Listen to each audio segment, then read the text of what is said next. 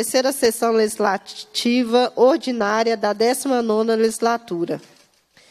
A presidência, nos termos do parágrafo 1 do artigo 132 do Regimento Interno, dispensa a leitura da ata da reunião anterior, considera aprovada e solicita sua subscrição. Essa reunião se destina a apreciar a matéria constante na pauta e a receber, discutir e votar proposições da comissão. Comunico o recebimento de extensa correspondência, conforme constará no resultado dessa reunião. A presidência informa que designou. Isso aqui é para pular? Não, isso ela pode falar. Na hora de pular, eu falo.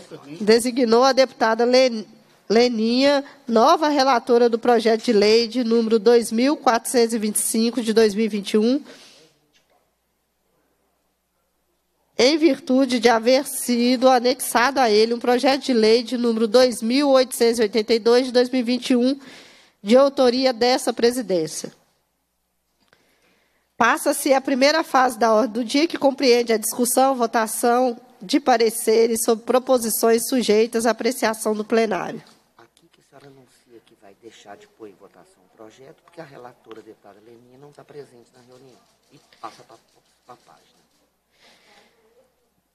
Deixo de, deixo de apresentar a relatoria do projeto de lei de número 2524 de 2021, que dispõe sobre a gratuidade do registro civil aos casos. Ah, ela entrou, ela entrou, a deputada Leninha. Então, se ela só segue o roteiro. E ela está anunciando, indaga a relatora se quer comparecer.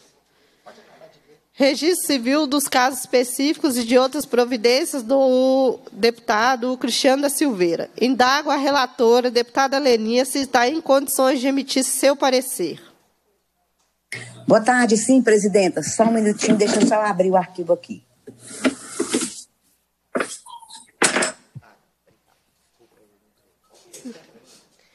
Isso.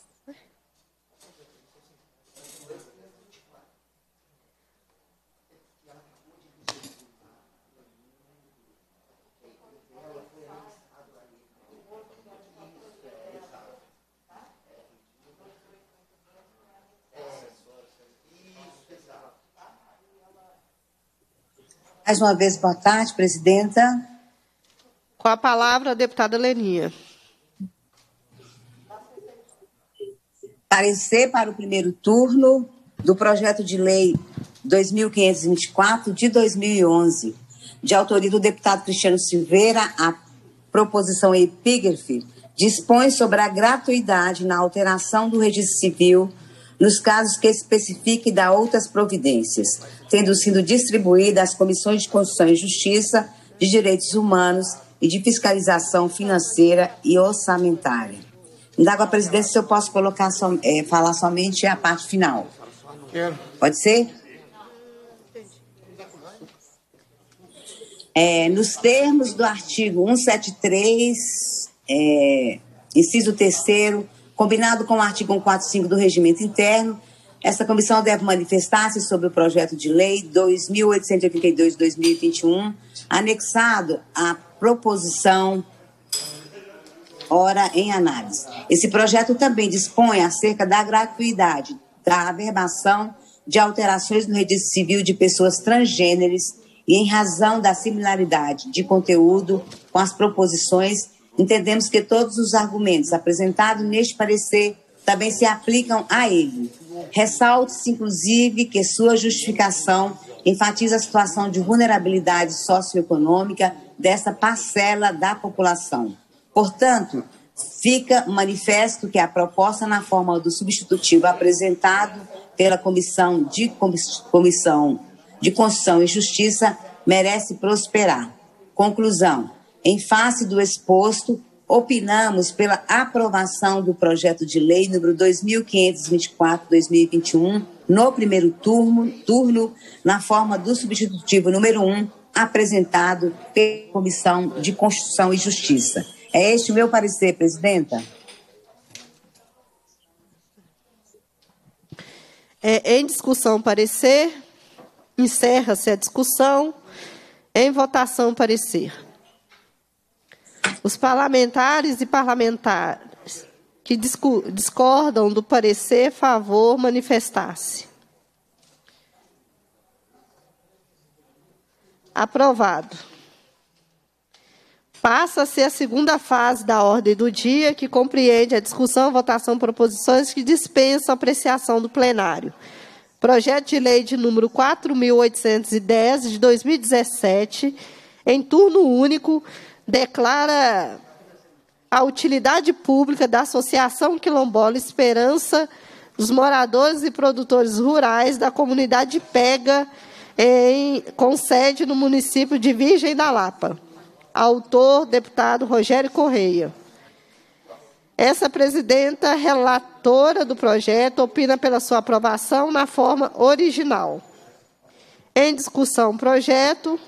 Encerra-se a discussão. Em votação, projeto de lei pelo processo nominal.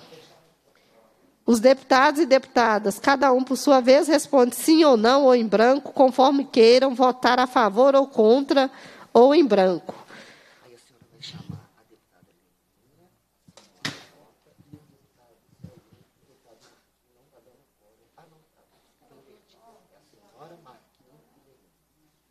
Como vota a deputada Leninha? Voto sim, presidenta. Como vota o deputado Marquinhos Lemos? Voto sim, presidente. Eu, deputado André, voto sim. Aprovado. Passa-se a terceira fase da ordem do dia, que compreende o recebimento, discussão e votação de proposições dessa comissão. Sobre a mesa, seguintes requerimentos de autoria dessa parlamentar.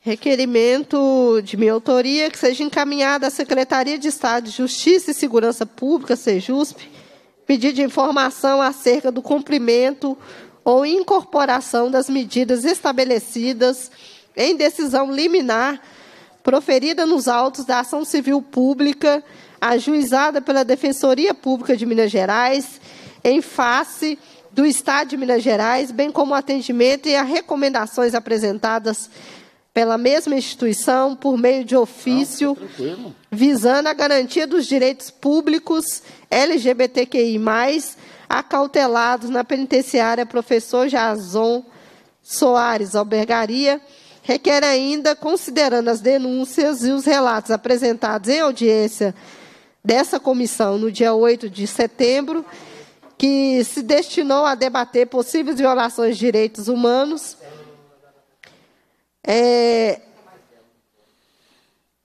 esclarecimento sobre os seguintes tópicos. Qual a estrutura atual disponível para atendimento do público LGBTQI+, quais as quantidades de, policiais penais, analistas e técnicos lotados na unidade,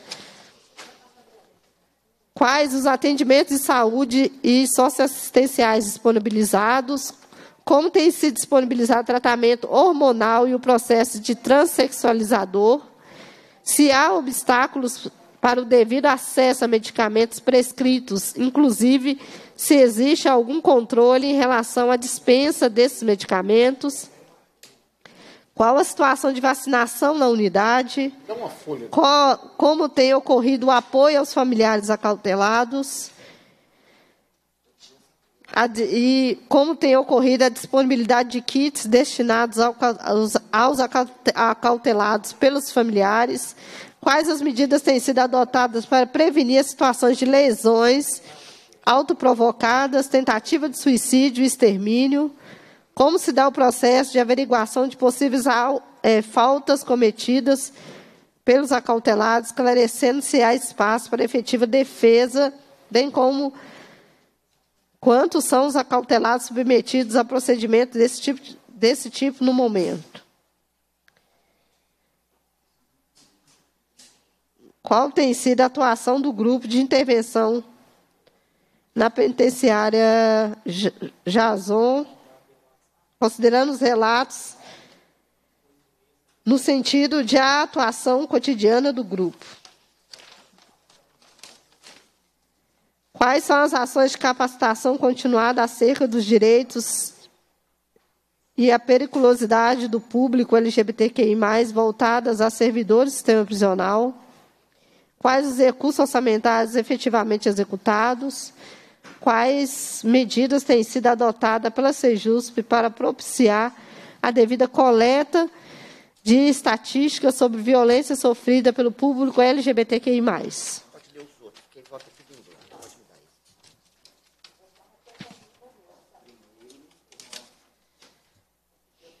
Que seja encaminhada à Secretaria de Estado de Justiça e Segurança Pública pedido de providências para oportunizar a participação de representantes da Defensoria Pública, da, da Ordem dos Advogados de Minas, nos trabalhos inerentes ao procedimento administrativo disciplinar instaurado em decorrência dos óbitos ocorridos na penitenciária professor, José, professor Jason Soares Albergaria.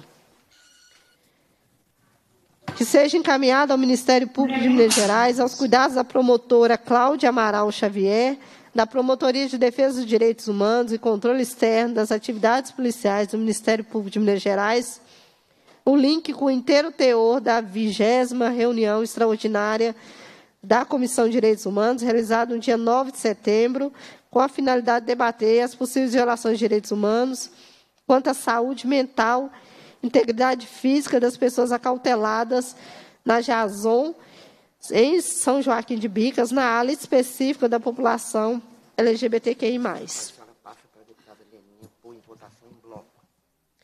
Passo a presidência para a deputada Lenia para colocar em votação requerimentos de minha autoria.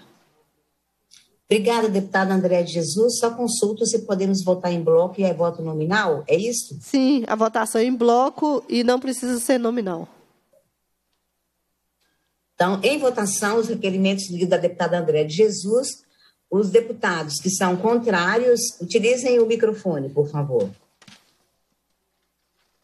aprovados os requerimentos que foram lidos. Devolvo à presidência a deputada André de Jesus. Obrigada, presidente. Obrigada, deputada Leninha, deputado Marquinhos.